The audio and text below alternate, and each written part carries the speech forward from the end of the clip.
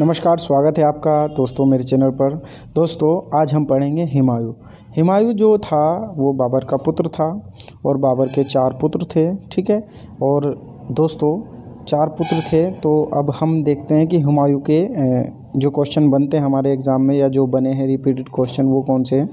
दोस्तों, हुमायूं का जो इसमें शासनकाल टाइम पीरियड दिखाया है, वो 1530 से पंद्रह दिखाया है। तो एक क्वेश्चन तो यहीं से बनता है आपका। दूसरा बनता है, हुमायूं का पूरा नाम क्या था? दोस्तों, हुमायूं का पूरा नाम था नासरुद्दीन मोहम्मद हुमायूं। क्या था दोस्तों? नासरुद्दीन मोहम्मद हुमायूं।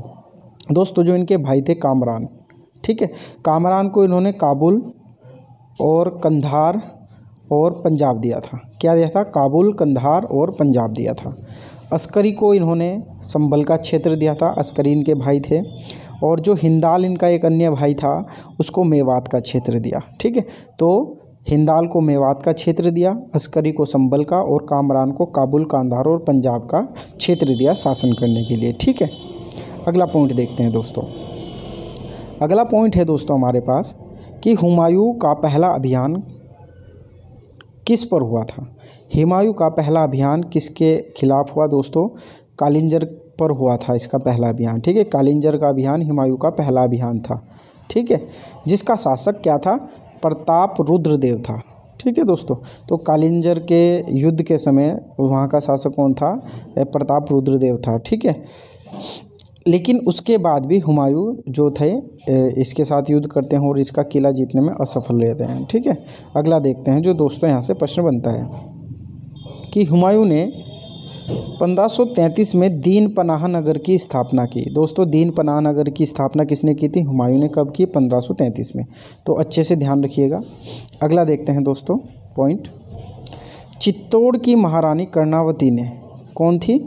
चित्तौड़ की महारानी कर्णावती ने हुमायूं के लिए राखी भेजी थी। तो क्वेश्चन ये बनता है कि हुमायूं के लिए किसने राखी भेजी थी या चित्तौड़ की महारानी कर्णावती ने राखी किसे भेजी थी? दोस्तों, हुमायूं को, ठीक है? अगला है दोस्तों, हुमायूं व शेर खां के बीच जो युद्ध का कारण था वो क्या था? हुमायूं व शेर खां के बीच जो युद्ध का कारण था वो क्या था? दोस्तों, वो था बंगाल इंपॉर्टेंट क्वेश्चन है, ठीक है? अगला है दोस्तों, चौसा का युद्ध कब हुआ? चौसा का युद्ध आपका पंद्रह उनतालीस में हुआ था। किसके बीच हुआ? हुमायूं व शेर खां के बीच। ठीक है? तो इसका जो चौसा का युद्ध का कारण था, वो बंगाल था। ठीक है? और ये चौसा का युद्ध कब होता है? पंद्रह सौ चालीस उनतालीस में। ठीक है? किसके मध्य होता है? हुमायूं और शेर खां के। इसमें शेर खां जीत जाता है। ठीक है? और शेर शाह की उपाधि लेकर क्या करता है? गद्दी पर बैठता है। किसकी उपाधि लेकर? शेर शाह की उपाधि लेकर गद्दी पर बैठता है। दोस्तों, अब मैं आपको बता दूँ कि जो हिमायू था, ठीक है? इसका सबसे पहला अभियान मैंने आपको बताया, कलेंजर का अभियान था प्रताप रुद्रदेव के खिलाफ, ठीक है? उसके बाद इसने दीन पनाह नगर की स्थापना की, उसके बाद इसको राखी भेजती है चित्तौड़ की महारानी कर्णावती, ठीक है? उसके बाद जो युद्ध होता है, चौसा का युद्ध, इनका निर्णायक युद्ध रहा है, जिसमें ये क्या थे? हार गए थे किससे? शेर खां से। ठीक है। कब हुआ चौसा का युद्ध? पंद्रह सौ उनतालीस में और शेर खां ने अपने आप को शेर शाह की उपाधि दी। ठीक है, अगला पॉइंट देखते हैं। कन्नौज या बिलग्राम का युद्ध कब हुआ? यानी कि एक साल बाद ही कन्नौज का या बिलग्राम का युद्ध हुआ। ठीक है, कब हुआ दोस्तों? 1540 में। चौसा उनतालीस में और कन्नौज या बिलग्राम का युद्ध 1540 में। इसमें हुमायूं व शेर शाह के बीच युद्ध हुआ, जिसके कारण शेर शाह का दिल्ली व आगरा पर अधिकार हो गया। बहुत बढ़िया प्रश्न।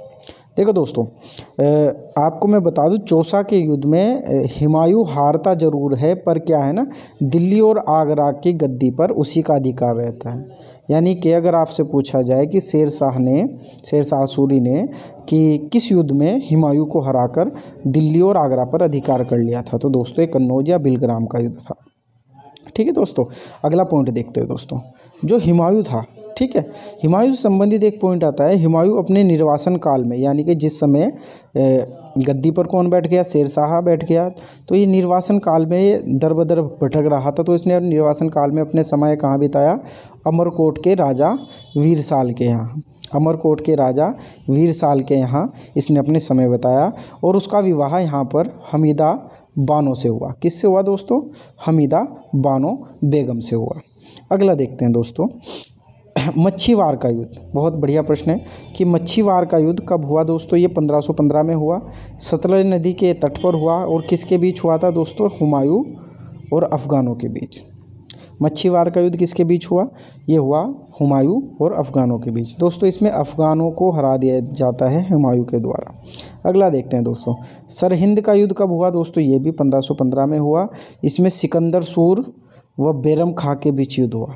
सिकंदर सूर व बैरम खां के बीच युद्ध हुआ। सरहिंद का युद्ध, ठीक है, जिसमें पुनः दिल्ली का मुगल, दिल्ली पर मुगलों का कब्जा हो गया, ठीक है। समझ गए? तो किसने शासन, सेनापति कौन था? हिमायू का, बैरम खां। ठीक है? और बैरम खां क्या करता है दोस्तों? सिकंदर सूर को, यानी कि सूर वंश का शासक होता है सिकंदर सूर, इसको हराता है 1555 में, ठीक है? सरहिंद के युद्ध में, और क्या होता है? दिल्ली और आगरा पर फिर से किसका शासन हो जाता है दोस्तों? मुगल वंश का। ठीक है दोस्तों? अगला पॉइंट देखते हैं कि जो हुमायूं था, हुमायूं ज्योतिषी पर विश्वास करता था, और सप्ताह के सातों दिन अलग रंग के कपड़े पहनता था। ठीक है? यानी कि क्या करता था? ज्योतिषी पर विश्वास करता क्वेश्चन आएगा कि मुग़ल वंश का या दिल्ली सल्तनत के बाद जो शासन हुआ है, उसमें ज्योतिषी पर कौन विश्वास करता था? और कौन सा ऐसा शासक था मुग़ल वंश का, जो सातों दिन अपने अलग कपड़े पहनकर दरबार में जाता था? दोस्तों, वो कौन था? हिमायू। एक क्वेश्चन और बनता है। हिमायू ने दिल्ली में मीना बाज़ार की शुरुआत की। ठीक है? दोस्तों, दिल्ली के अंदर मीना बाज़ार की शुरुआत किसने की? हिमायू ने। अगला पॉइंट देखते हैं दोस्तों, जो महत्वपूर्ण पॉइंट है कि पंद्रह ईस्वी में हुमायूं की मृत्यु होती है और कहाँ होती है? दिल्ली के, कहाँ होती है दोस्तों? दिल्ली के शेरमंडल नामक पुस्तकालय में। कहाँ होती है? दिल्ली के शेरमंडल नामक पुस्तकालय में। कैसे होती है? सीढ़ियों से गिरकर। ठीक है? ये सीढ़ियों से गिरकर इनकी मृत्यु होती तो आपके सामने प्रश्न पूछा जाता है कि किस शासक, मुगल शासक की मृत्यु सीढ़ियों से गिरकर हुई थी? ठीक है? तो दोस्तों, इसका शेर शाह, ये जो पुस्तकालय, ये जो पुस्तकालय था, इस पुस्तकालय का नाम था शेर मंडल। ठीक है? और शेर मंडल में इनके गिरने से इनकी मृत्यु हो गई थी। तो अब एक बहुत प्रसिद्ध कथन है जो लिखते हैं लेन लूप लेन लूप ने ये लिखा था कि हुमायूं जीवन भर लड़खड़ाता रहा और उसकी मृत्यु भी लड़खड़ाते ही हुई। ठीक है दोस्तों तो महत्वपूर्ण प्रश्न आपसे पूछा जाता है, किसने कहा ये किसका कथन है? एक क्वेश्चन आता है, गुलबदन बेगम। दोस्तों, गुलबदन बेगम जो थी, वो हुमायूं की बहन थी और इसने हुमायूं नामा लिखा था। तो आपसे पूछा जाता है कि हुमायूं नामा की रचना किसने की? दोस्तों, गुलबदन बेगम ने की। इंपॉर्टेंट क्वेश्चन है, ठीक है?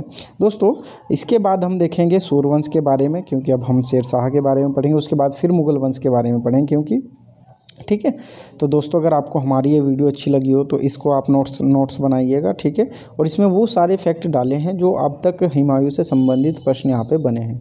अगर आपको किसी भी ओल्ड एग्ज़ाम के क्वेश्चन उठा के देख लीजिए, और इसमें कोई शंका है तो हमें कमेंट में कीजिए, आपको सारे क्वेश्चन यहीं मिलेंगे।